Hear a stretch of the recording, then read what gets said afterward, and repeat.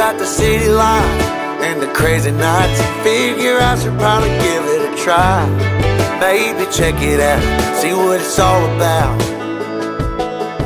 But the traffic was fast and the money was slow. The people I met you never get to know. I kinda miss this place I used to live back home. Cause up here it's brand